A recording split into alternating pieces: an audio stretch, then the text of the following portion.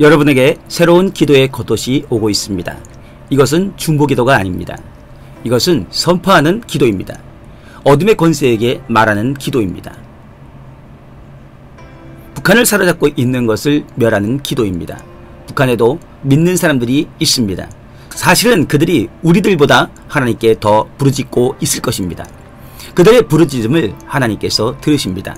마치 하나님께서 천사들과 함께 하늘에서 뛰어내리시듯이 오셔서 주님께서 바꾸실 것을 바꾸실 것입니다. 사도적인 교회는 큰 믿음이 있습니다.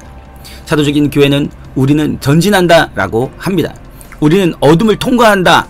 우리는 어둠을 이긴다. 그러므로 북한은 바뀌어집니다. 여러분, 북한은 바뀌어집니다. 하나님께서 믿음을 가진 교회를 일으키십니다.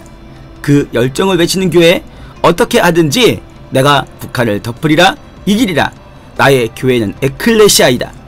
즉 이 땅에 있는 하늘의 정부라는 뜻입니다. 이 기도의 선포를 통해서 다스린다는 것입니다.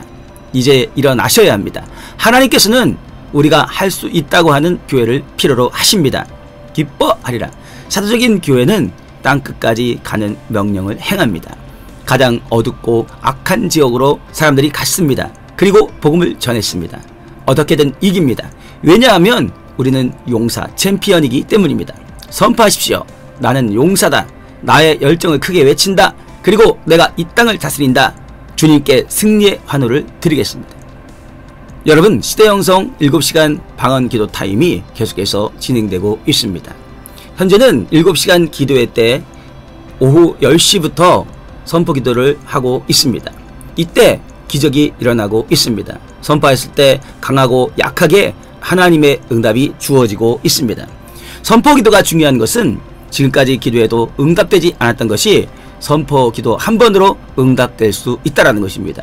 지금 많은 분들이 병고침과 축사 그리고 삶에서의 변화를 경험하고 있습니다. 함께 연합하심으로 흑암의 세력을 묶고 삶에서 하나님의 나라를 완성해 나가기를 소원합니다. 사랑합니다. 감사합니다.